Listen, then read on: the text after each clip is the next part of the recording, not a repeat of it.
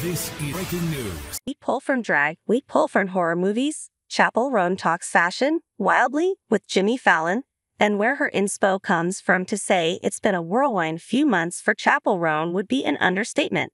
The pop singer's success has absolutely skyrocketed into the mainstream since her latest song, Good Luck, Babe, became a major hit. Chappell's music is really speaking to people, but it's really the whole package of your favorite artist's favorite artist that has people falling in love with her. And recently, she talked on The Tonight Show about her sense of style and what inspires it. Chappell Roan has particularly been getting attention for her incredible looks at her big shows, like working with the makeup artist from Euphoria for her Coachella gig or dressing up as the Statue of Liberty at the Governor's Ball. When she recently made her debut on a segment of The Tonight Show starring Jimmy Fallon, here's what she said about what inspires her.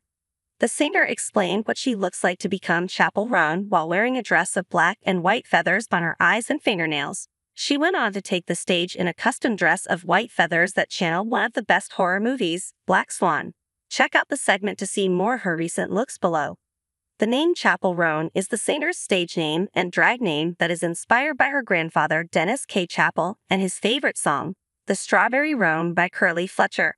Roan often celebrates drag performers by having them open her headlining shows. She also often gives audiences costume themes for the shows that go along with the titles of her songs. So, her style is fully a part of her performance, and she explained that so well during her interview with Jimmy Fallon.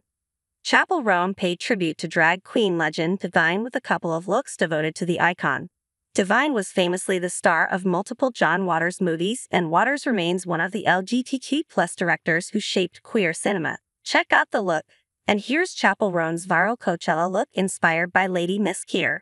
As usual, when she pulls from looks from other icons, she always credits them in her social media posts.